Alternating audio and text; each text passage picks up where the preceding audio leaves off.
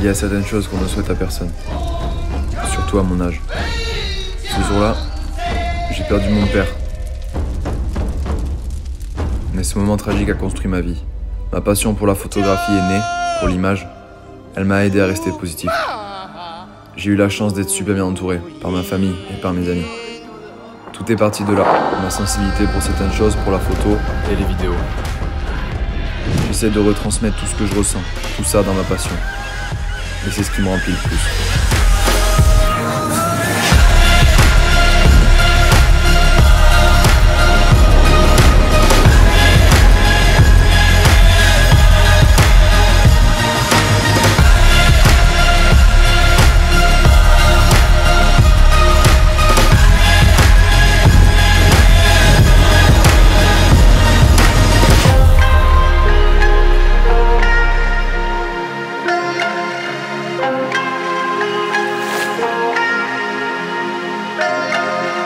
Suite, cette période m'a appris une chose. La vie peut être très courte et un jour tu laisseras ce monde derrière toi. Alors fais ce qui te rend le plus heureux, prends la direction qui te permettra de vivre à 200%. J'ai grandi auprès de l'océan, des tempêtes, de la douceur des flocons qui fondent dans les rivières et revient à l'océan.